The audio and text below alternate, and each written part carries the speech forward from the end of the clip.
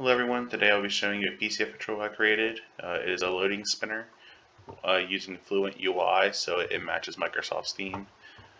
So let me show you how it's being used. Uh, we got a simple form here, taking in data, and whenever I click save, I create an overlay which shows the spinner spinning and then goes away. Um, has a real native look and feel to it. So let me introduce you to the PCF component. It's real simple. Um, to spinner, you can choose a size, medium, small, extra small. Maybe we'll leave it large for now. Label position, you can do right, top, left, or bottom. And then of course the spinning label, you can change to call it whatever you want. You can call it saving, or whatever you would like to call it. And of course it has a visible flag. So whenever, what we could do here is, I have two buttons here. I have a show spinner and a hide spinner button right here. And so I want to have one selected the show spinner. I'm going to create a context variable. So I'm going to show spinner to true. And then on the hide spinner, I can say, I should set it to false. And then what I can do here, I can set the visible flag equal to show spinner.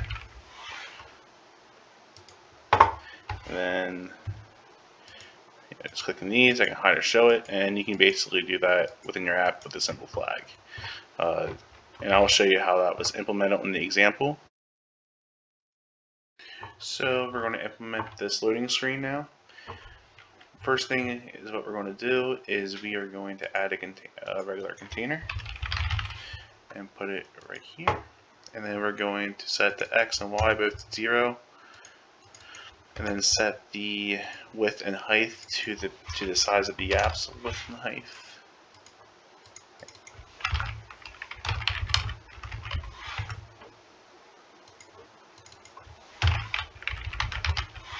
Alright, next what we're going to do is we're going to change the color.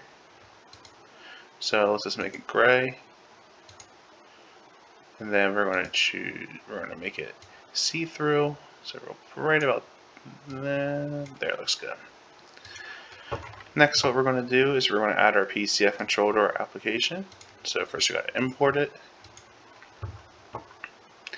And then you come back here. We go to code components, you can now see the spinner is not included. You add it. Let's go ahead and make it visible. And then we're going to make it large change the position of the label to right, say loading, and then we're going to make the X so it lines up within the uh, container. We're going to do parent dot width divided by 2 minus self dot width divided by 2. So that lines up horizontally. And then we're going to do the same thing over here with height. That lines it vertically. Oops. There we go. So now we're going to leave the, the spinner always visible. And what we're actually going to do, do is control the visibility of the container that holds the spinner. So that way anytime we want to show this overlay loading screen, the spinner will already be visible. So just to do that, first what we're going to do is on visible, we're going to create a flag that is going to be called show loading screen. And we're going to default it to false and then we're going to go and set the visibility of the container to that.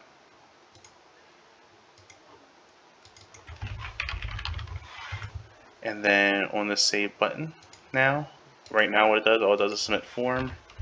What we're going to do is we're going to set that show loading screen to true. Call submit form, and once submit form is done, we'll set the loading screen back to false.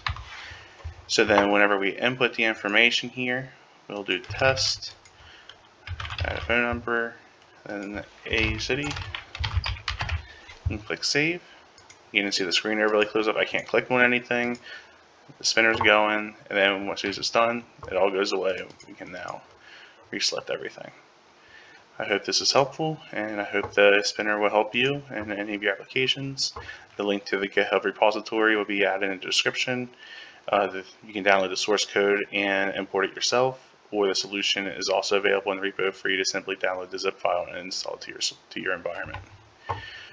If you have any questions, please post them below. Thanks for watching.